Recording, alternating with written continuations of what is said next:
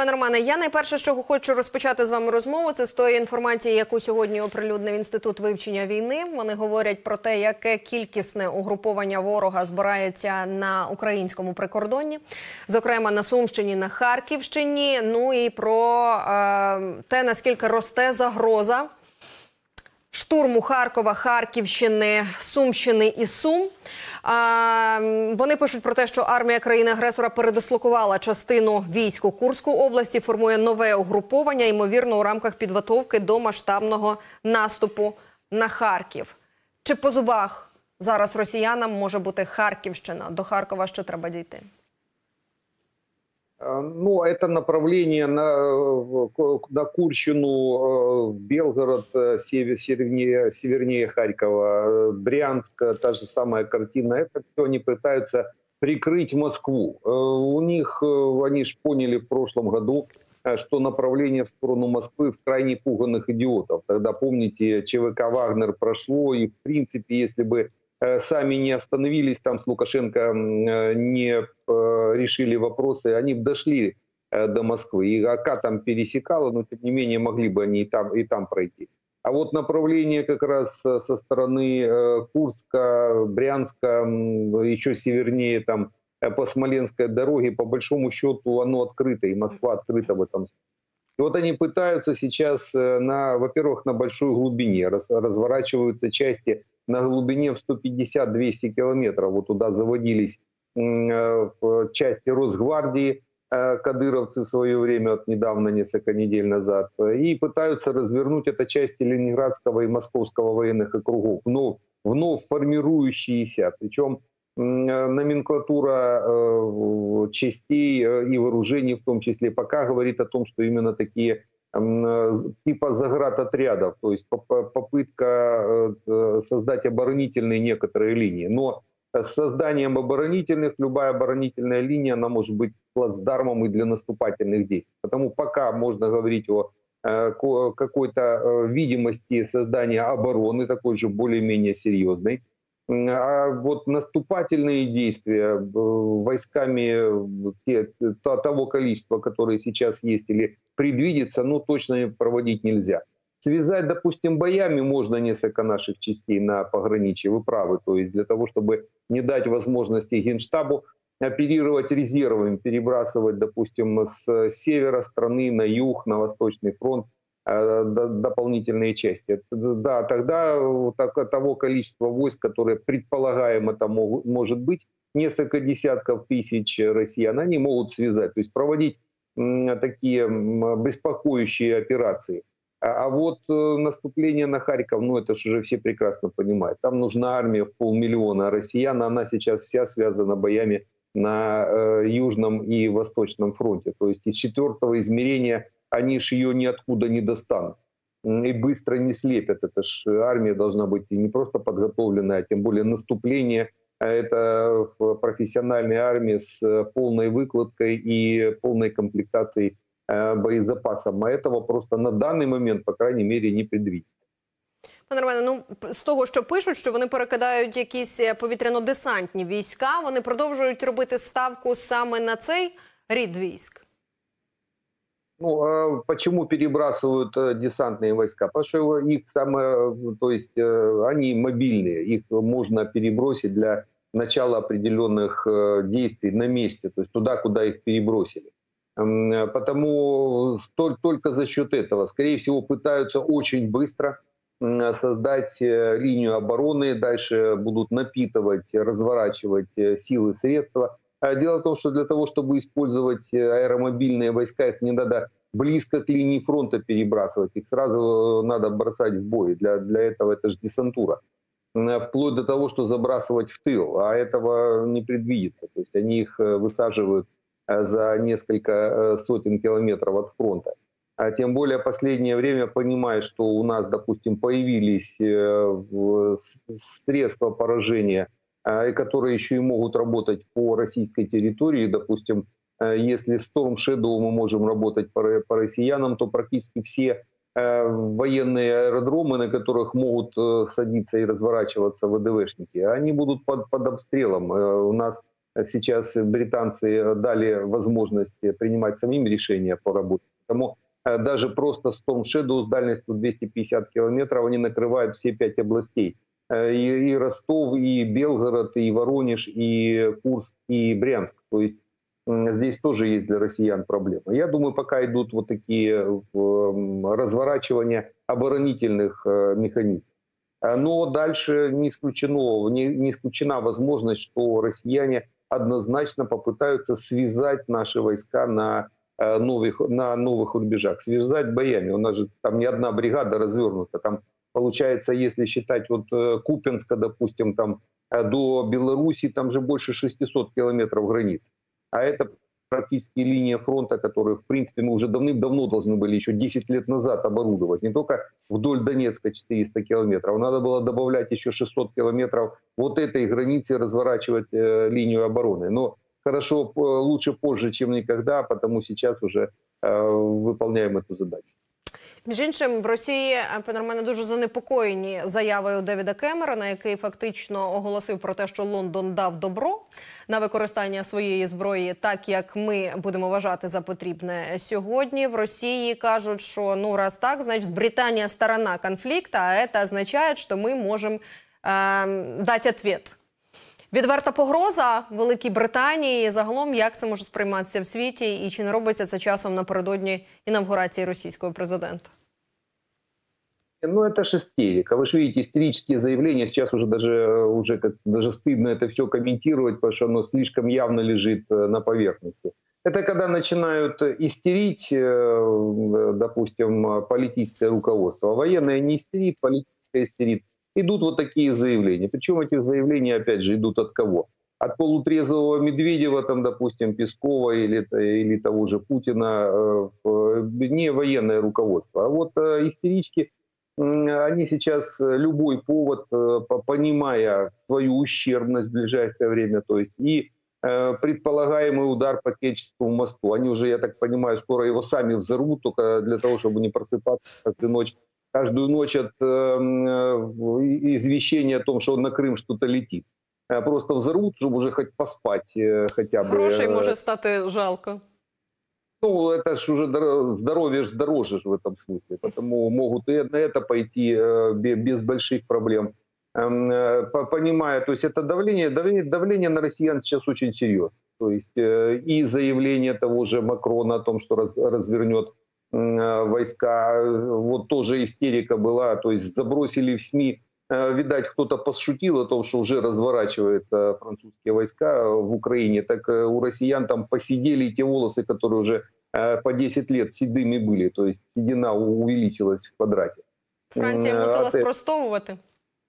Да, пришлось, да, даже уже успокоить. Не, но если бы у Путина там или у Медведева инфаркт бы случился, бы они французам бы счет выставили э, за э, спровоцирование. Потому я так понимаю, что французы впереди паровоза побежали, этот механизм нивелировать. Ну, боятся за э, здоровье Путина, тем более инаугурация завтра. Французский посол собрался туда э, на инаугурацию. Наверное, единственный будет со всей Европы, ну, если не считая там э, Мадьяр с э, словаками. То есть э, есть эти проблемы у россиян, и они просто истерят. А И эта истерика выражается в угрозах, погроз, э, в определенных э, действиях, в начале каких-то учений, ядерные учения у них э, Теж, великие. теж істерика. Истерика однозначно в чистом виде, потому что, э, так сказать, ежегодные, ну, проводятся 12-м ГУМО, 12-е главное управление, главным управлением Министерства обороны Российской Федерации, которое отвечает за ядерные боезапасы. Э, Проводятся ежегодные учения, ну, они так называются, учения, в основном это такая полугодовая, потом годовая проверки состояния. э, Это стандартный прием, это всегда в войсках проводилось, проводится в российских, это все осталось Советского Союза. Ну вот они обозначили это как, как учение. Ну только для того, чтобы поднять определенный градус, поистерить, потопать ногами, по ай-яй-яйкать э, на, на Запад, как всегда, погрозить пальчиком, ну и так далее и тому подобное. То есть примерно в таком режиме. Пане Романе, сьогодні, а, окрім усього, ще й а, ми спілкуємося з військовими, які доєднуються до м, нас із лінії фронту. І Бахмутський і Авдіївський відтинок. Загалом Донеччина ситуація дуже серйозна. Також була попередня інформація, що росіяни перекидають якісь додаткові свої резерви, оголяючи, можливо, запорізький відтинок, а можливо, то якісь запасні. А, на Авдіївському напрямку, по факту, в два рази навіть більше разів зараз штурмів і атак, аніж на Бахмутському. Росіяни близько підійшли до часового яру, але там, де очеретина, я так розумію, бої запекліші. Як ви оцінюєте інтенсивність бойових дій, говорячи про обидва а, відтинки? І до 9 травня тут слухайте лічені дні. У росіян був дедлайн, то вони з такою інтенсивністю і таким поспіхом, коли до часового яру дійдуть? Ну, а, наверное, часов яр, э, если в ближайшее время подойдет вот то, что мы ждем, а скорее всего подойдет, э, часов яра им не видать. А в ближайшее время так это точно, там до 7 до 9 просто не получится. Там серьезный укрепрайон, и вот э, заход главного нашего ГУРа, э, туда зашли части ГУРовские с вооружением, естественно, э, передовым, которые э, не вперед, э, впе- впереди, наверное, еще принятие решения Байдена э, привезли. То есть стабилизировали более-менее ситуацию в Часовяре. Тяжелая, но она более-менее контролируемая. Потому Э, не так сейчас Часовьяр, почему они сейчас и россияне в основном э, общее направление взяли как раз в район э, и давление в районе Очередя. У них там, если исходя из эм, карты боев, так называемый намечающийся оперативный прорыв. Они почему вышли на, на Черетина и с направлением в сторону э, трассы с Покровска на Константиновку, это выход на оперативный простор. Ну, они так, по крайней мере, думают. Там у нас еще одна линия обороны есть, э, потому мы их, если что, перехватим. Но, тем не менее, там 10 километров практически от э, передовых э, частей российских до этой трассы. Эта трасса одна из основных трасс, которые питают Константиновска, Дружковский, этот агломерацию. Константиновка, Дружковска, тот же Часовьяр, Краматорск и Славянск. Там есть еще одна основная дорога через Доброполе, чуть севернее, потому э, полностью, естественно, ничего не перережут, но вдоль дороги э, россиянам удобнее двигаться, потому э, после выхода, они планируют после выхода на дорогу, могут подвинуться в сторону Покровска, либо в сторону Константиновки, либо туда и туда, вот как раз в этот оперативный прорыв, он почему так называется, эм, с выходом на оперативный простор, они могут развить уже наступление оперативного уровня. То есть до стратегического еще далеко, но вот оперативного могут точно. То есть это такое накопление э, тактических успехов могут, может привести к оперативным уже, э, то есть оперативного уровня э, движению российского. Почему они ее заводят? Действительно, вы правы, с некоторых позиций Запорожского и Херсонского направлений сняты свежие бригады, которые, свежие подразделения, которые не были в боях, их не стали выводить из боя, потому что потеря боеготовности, а свежие, которые заводились через э, Крым, сейчас сняты и перебрасываются туда под Донецк. Вот они будут пытаться этот оперативный, уже можно говорить об оперативном прорыве, усилить и выполнить, выйти на более-менее, на более-менее простор. Э, усиление сейчас идет э, в районе Очеретина российскими войсками и флангов. Они поняли, что э, немножко взорвались. Было бы у нас, помните, мы с вами говорили, пару бригад свободных, можно было бы отсечь эту колонну головную в районе Очеретина, но не сложилось. Нет достаточного количества сил средств у нас сейчас, чтобы выполнить такого, такие маневры. Ну, время упущено. За неделю они усилили Эм, э, фланги начали расширять э, этот, э, эту, это направление, потому сейчас уже у нас такого рода операции не получится. Скорее всего, Сырский был вот два дня работал на этом направлении, будут приниматься решения либо об усилении, допустим, и удержании некоторых позиций, либо не исключая возможности об отходе на вторую линию обороны в район Карловки и Курахова. Это тоже возможно, и в принципе, если это будет э, принято решение, то оно э, ситуацию там выровняет. Э, в каком смысле? Дело в том, что Курахова и Карловка, если кто хорошо видит, ну, карта хорошо видна, это сеть водохранилищ, практически с Очеретина реки идут маленькие речушки, но тем не менее там восточная сторона болотистая, подходить к водной поверхности этих водохранилищ очень тяжело, а правый берег высокий. Все правые берега у нас высокие, то есть у нас артиллерия даже малым количеством боеприпасов россиян может остановить. Поэтому ситуация там очень тяжелая на данный момент, тут именно на Донецком направлении, это в сторону Покровска, то есть это Черетина, это Карловка, это Курахова. Э, очень тяжелая, но она как раз эм, э, не стратегически опасна, если так можно сказать. То есть остановить на второй линии обороны россиян можно. Э, проблемно Часовьярское, то есть Часовьярское положение. Почему на данный момент мы их остановили, но если они переформатируются и туда поддавят, а именно это они сейчас тоже будут пытаться делать, это уже видно. То есть идет переброска из Валуек, из Луганского направления, туда под э, Бахмут. И там на самом деле находятся линейные профессиональные части сейчас э, в районе Часовьяра российские, потому э, для них, если они добьются все-таки ухода наших войск из Часовьяра, то следующая линия обороны – это будем перехватывать их уже вдоль агломераций Славянска, Краматорска, Дружковки и Константиновки. Это практически города будут снесены примерно в ноль так как они снесли Бахмут, Авдіївку і Мар'їнку. Это будет, конечно, намного тяжелее. І багато інших. А скажіть, а вони а, власне з очеретиного можуть повернути через Торецьк і піти допомагати тим, хто намагається атакувати часів яр? Ну, не, не на Торецк, там не получится. На Торецк они с Очеретина вот, могут дойти до э, трассы. Ну, то есть, mm-hmm. так, понятно, если карту высот смотреть, Э, могут дойти до трассы и вдоль трассы уже пойти на э, Константиновку, а это получается в полуокружение Торецка. То есть они за Торецком пойдут. Э, и вот с Константиновки тогда, да, тогда это самое, у нас, конечно, будет там проблема чуть хуже, даже сложнее, чем просто отход от Часовьяр.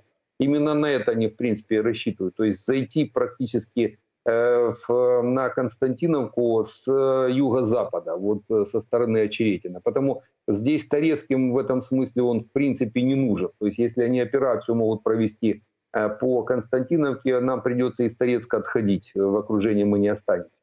А операцию по Торецку провести напрямую они не могут. Почему? Потому что Торецк сам по себе это высота, господствующая, что, что господствующая в том числе и над Горловкой. То есть сам по себе Торецк вот мы э, когда-то еще в 15, 14, 15 году, э, когда останавливали э, линию обороны, то есть когда вычерчивали ее, это были высоты.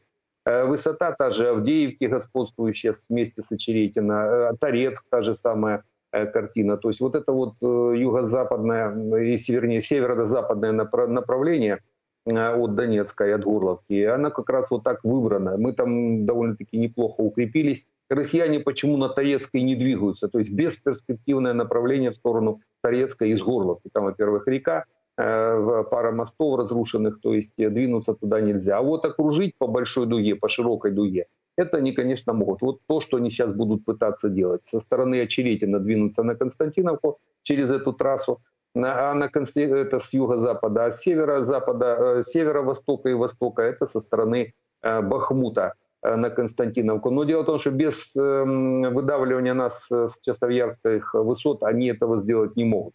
То есть э, первая задача у них все равно получается Часовьяр. Почему Часовьяр считается сейчас таким камнем преткновения, замковым камнем всего фронта?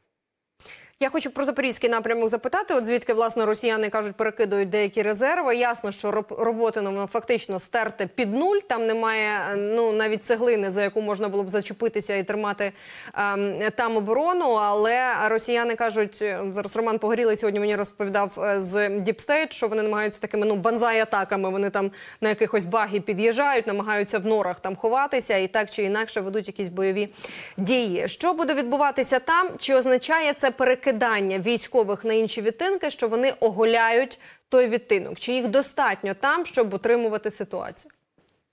Ну, нет, не оголяют это точно. То есть они перебрасывают резервы. То есть это можно сказать, что э, планировать наступательных операций, допустим, э, с прорывом в районе Работина, там на Орехово, на Запорожье, они в данный момент уже не могут Они будут выполнять э, ту задачу э, стартовую с прошлого года, которую они выполняют. Зимы у них она осталась. Это срезание э, нашего вот этого вклинения, то есть срезание выступа Работинского. Будут пытаться это сделать, но это, но это не оголение фронта. То есть у них там достаточное количество войск, чтобы пытаться вот так вот, как вы правильно говорите, на баге, а там по-другому никак, потому что любая техника при подходе тут же уничтожается нашими коптерами, то есть э, есть возможность работать и дронами, там их уже в достаточном количестве, артиллерии и авиации в том числе, у нас туда и авиация подходит. То есть э, им там развернуться негде, но вот это давление по серым зонам, э, норами, на баге,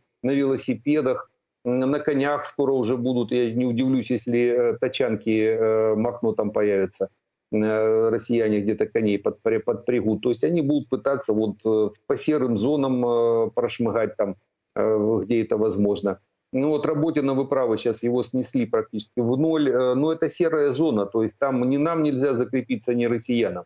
Действительно, кто-то прорывается, но вот до первой серьезной арта, артподготовки сносятся все эти норы, сворачиваются, там они и остаются. Ми розуміємо прекрасно, що фактично Крим розпочинає свій новий сезон, ем, сезон бавовняний, враховуючи ту зброю, яку маємо ми, але й не тільки, але й дрони Магура В також працюють. Працюють по е, до прикладу якихось швидкісних російських катерах. Я так розумію, що ці катери росіяни намагаються використовувати прикриваючи свій флот, тому що кораблі вони трохи поховали. Три мільйони коштує такий вражений гурівцями сьогодні. Загалом, наскільки росіянам в Криму сьогодні би варто готуватися до того сезону? Ну, это же россияне. Они все равно будут однозначно. Если у них по плану заезд в Крым, так они поедут, как бы там плохо не было, и будет там все гореть рядом, они будут отдыхать. Э, до, до определенного момента, пока уже не придется уезжать. Просто так, как это было в видео, если вы помните, когда уезжали с, после первых ударов по крымским военным Душевно объектам. было очень в Крыму. Душевно было, да. Так э, это уже может да и не быть. Э, Керченский мост может почить в Бозе. Потому им надо подумать. Но опять же, думать у россиян нечем, потому они однозначно в Крым поедут. Но это, с одной стороны, хорошо. Почему? Чем больше э, россиян в Крыму в этом смысле отдыхающих, тем э, труднее российским войскам э, перебрасывать технику, боеприпасы, вообще передвигаться.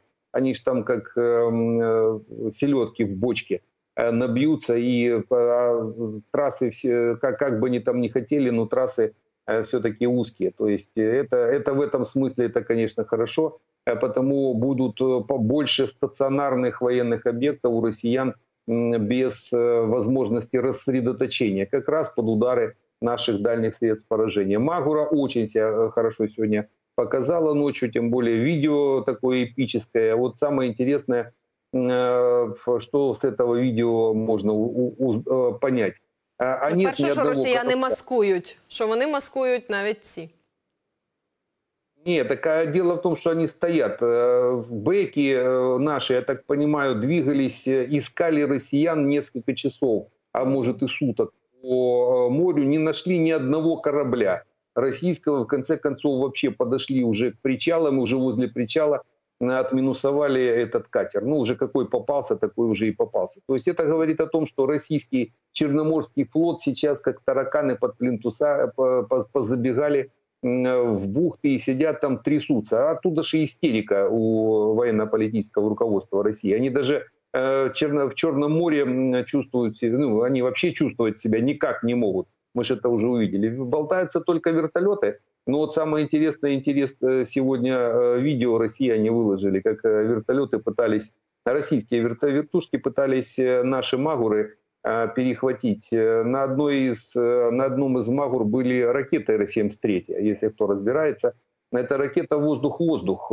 Это ракета, которая может быть использована Магурой в, в качестве ПЗРК, переносного или уже, наверное, плавательного зенитно-ракетного комплекса, как угодно это можно назвать. Единственная эта ракета тепловая, там тепловая головка самонаведения, примерно такая же, как и у Стингера – Э, только нужен э, оператор или, или оператор, так как оператора нет, то, скорее всего, на одном из катеров еще шел локатор, по которому э, можно было предварительное целеуказание ракеты сделать. То есть, Що він то, може що... збити?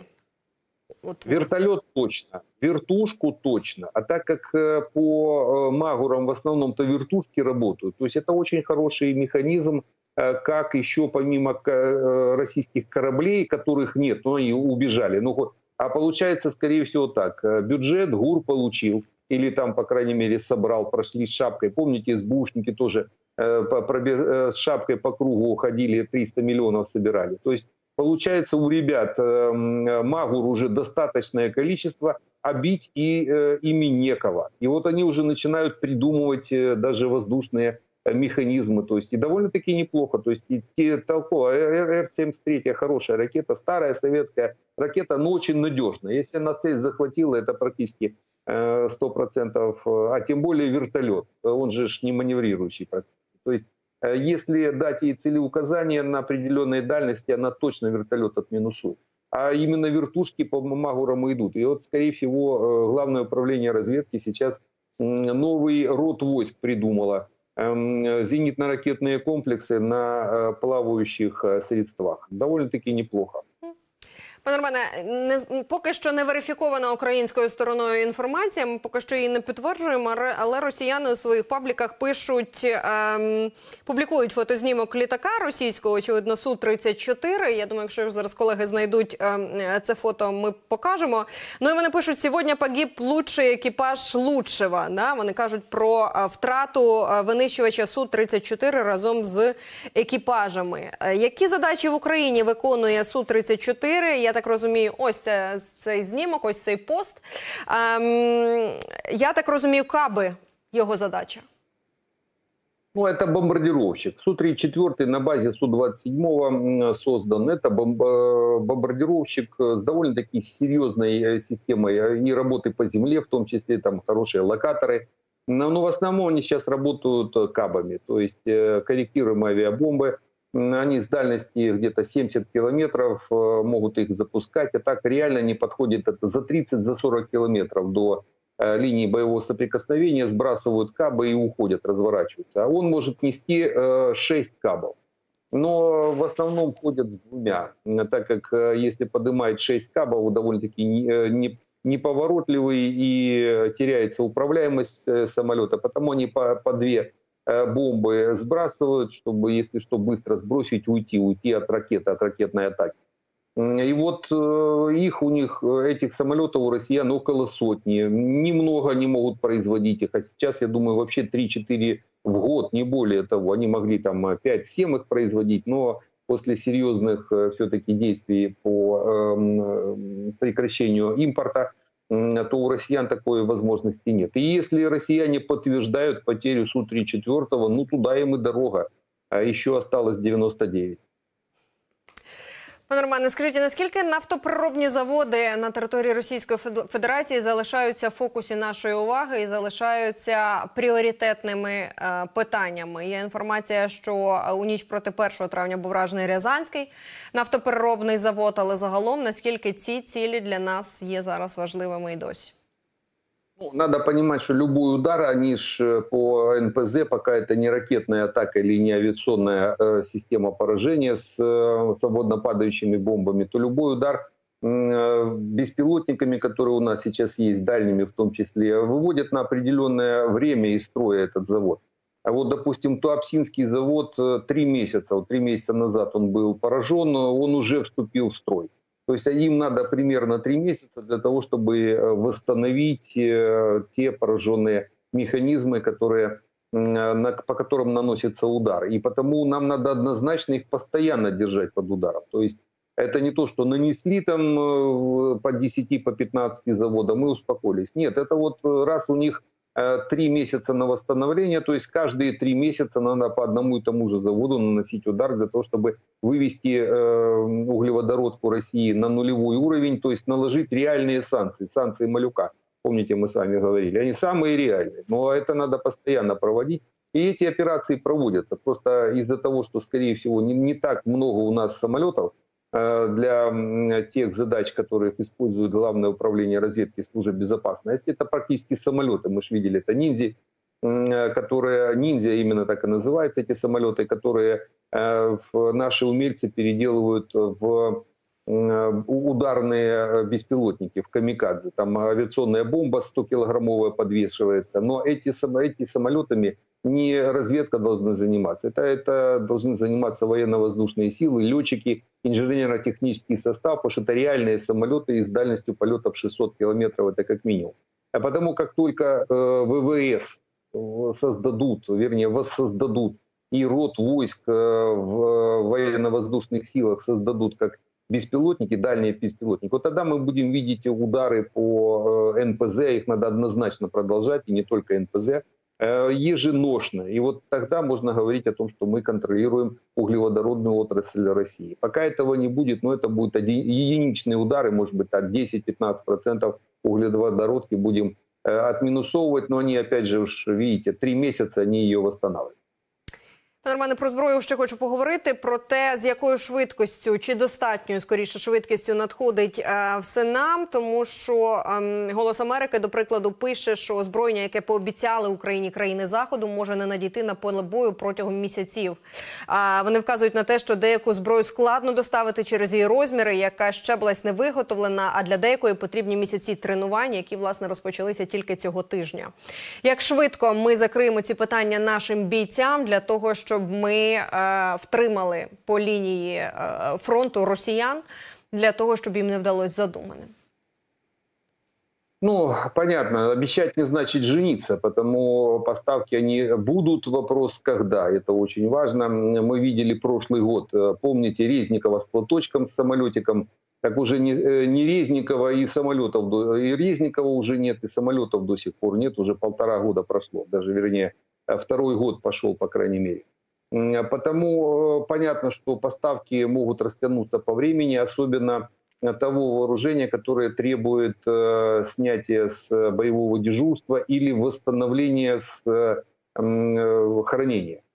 Скорее всего, у американцев тоже появились советские прапорщики, которые в местах хранения успевают что-то перепродать. И для того, чтобы снять Э, с хранения и восстановить определенное время надо. Это я с сарказмом, конечно, говорю, но э, тем не менее чувствуется вот такой советский душок иногда, особенно когда что-то э, что достают со складов и нам пытаются передать. Это я имею в виду по поводу техники. Мы ждали сколько Абрамса? 9 месяцев. Ребенок уже родился бы за это время пока мы Абрамсы получили. То есть эм, получим однозначно вот в ближайшее время это те боеприпасы, которые нам сейчас критично необходимы. 155-й калибр. К июню месяцу, скорее всего, уже э, чехи, э, чехи в информационный поток это уже выдали. На, на 500 тысяч боеприпасов есть финансирование, а это значит где-то с июню месяцу мы получим уже и 122 и 152 э, калибр, ну, естественно, 155 тот, который был а, обещан. То есть боеприпасами, в принципе, я думаю, в ближайшее время мы будем обеспечены. Ракеты уже при, э, пришли для Патриотов. Испания об этом доложила, о том, что уже переданы э, ракеты. Именно Испания передавала, то есть у нас уже есть этот момент. А вот с техникой будет, конечно, задержки такого же уровня, как и с прошлого года. То есть мы действительно можем технику получать еще определенное время, и не факт, что в этом году ее всю получим, э, исходя из механизмов подготовки. На, на это надо рассчитывать. Пентагон каже, що за атакамсами ем, далекого радіусу дії питань не буде, тому що виробництво налагоджено, йде і все буде добре. Україна буде мати стільки, скільки потрібно, казав Ллойд Остін. Ну, его слова да богу в уши. Э, хотелось бы верить в это, хотя по поводу атакамсов, у них э, больше двух тысяч есть атакамсов разного уровня, то есть и 100-мильные, и 300-километровые, тем более они их будут снимать с боевого дежурства, они сейчас ПСМ ставят. Это 500-километровые хорошие ракеты. По две ракеты в одном блоке, а атакамса одна ракета. То есть они, они даже еще и в, в этом эм, молодцы. То есть э, модификация неплохая. Ну, они на ПСМ будут переходить где-то ну, год-полтора, это минимум, э, пока полностью не перейдут. Значит, э, вот эти две две с половиной тысячи, тысячи атакамсов мы, в принципе, можем за это время получить. Опять же, все надо понимать, о каких цифрах идет речь. Если там Остин говорит там о одной сотне атакамцев, ну, это можно передать, по большому счету, за одни сутки. Galaxy перебросили бы, уже бы у нас они были, уже бы работали это сотни. А если это большое, большое количество, а нам надо как минимум 500, э, первая партия в 500 ракет, для того, чтобы можно было хотя бы по три ракеты на один э, военный объект в Крыму э, запустить. Их там уже под две сотни практически. Поэтому здесь вопрос именно в количестве. Вот пока подтвержденного количества никто, вернее, подтверждений в количестве никто не дает.